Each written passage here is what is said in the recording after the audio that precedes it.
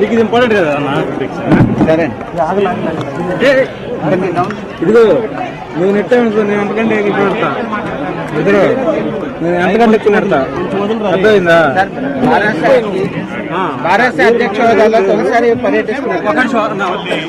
Sir ఒక గ్రామంలో రమేష్ అన్న. మృత్యుంజయ విశ్వశాంతి మహాయోగం మహాయాగం. అనుకున్న ఈ నలభై సంవత్సరాల్లో అంబోలి గ్రామం నుంచి నన్ను అతిథిగా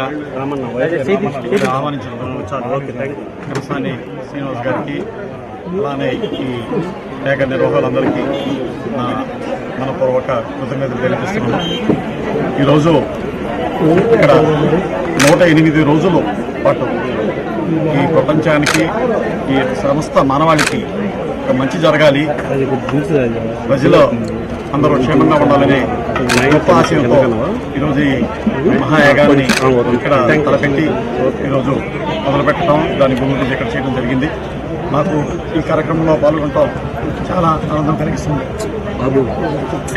విషయం ఏంటంటే ఇక్కడికి నేను ఉండవల్లి వచ్చినప్పుడు నేను ఒక నాలుగు సంవత్సరాల క్రితం ఇక్కడ వచ్చాను. నేను అనుకున్న ఈ నాలుగు సంవత్సరాల్లో ఉండవల్లి గ్రామం ఒక అంతర్జాతీయ మహానగరంగా ఇక్కడ ఒక సిటీ డెవలప్ అవుతుంది. కానీ ఈరోజు నాలుగు సంవత్సరాల క్రితం ఏ విధంగా ఉందో తొమ్మిది సంవత్సరాల క్రితం ఏ విధంగా ఉందో అదే రీతిలో ఈ రోజు చాలా బాధ కలిగిస్తుంది. ఎందుకంటే ఈరోజు ఇక్కడ ఒక మంచి సిటీ మనం రాజధాని సిటీని ఇక్కడ చూడాల్సిన ప్లేస్ ఇది. కానీ గత పాలకులు రెండు ఫ్రాన్స్లో ఈ ఆంధ్రప్రదేశ్ రాష్ట్రాన్ని పాలించినటువంటి పాలకులు దీన్ని నిర్లక్ష్యం చేయటం వల్ల ఈ ప్రాంతం అభివృద్ధి చెందలేదు. మన రా- మనకి ఈరోజు రాజధాని చెప్పుకోవడానికి కూడా రాజధాని నగరం నిర్మితం కాలేదు. ఇది ఈ ప్రస్తుతానికి ఇక్కడ ఇప్పుడు ఈ సమయం సమయానుచితం సందర్భం కాదు కాబట్టి నేను రాజకీయాలు మాట్లాడవచ్చుకోలేదు కానీ ఒక విషయం అయితే చెప్పగలుగుతాను. మన ఆంధ్రప్రదేశ్ రాష్ట్రానికి ఇప్పటికీ రాజధాని లేకపోవటం మనం చేసుకున్నటువంటి తీవ్ర దురదృష్టకరమైన పరిణామం. భారత రాష్ట్ర సమితి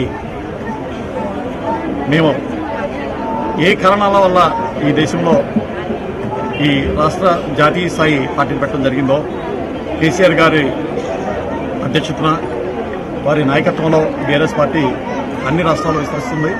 అలానే ఆంధ్రప్రదేశ్ రాష్ట్రంలో కూడా పెట్టడం జరిగింది. నా మొట్టమొదటి కార్యక్రమంగా ఇక్కడ పాల్గొనడం నాకు ఎంతో ఆనందాన్ని కలిగిస్తుంది. ఇది చాలా శుభదాయకమని నేను భావిస్తున్నాను. ఎందుకంటే ఉండవల్లి సెంటిమెంటల్గా నాకు చాలా నా హృదయానికి దగ్గర ఉన్నటువంటి గ్రామం. ఎందుకంటే ఇక్కడ ఉన్న వాళ్ళంతా నా వాళ్ళు మన వాళ్ళు అని నేను ఎప్పుడు ఫీల్ అవుతూ ఉంటాను.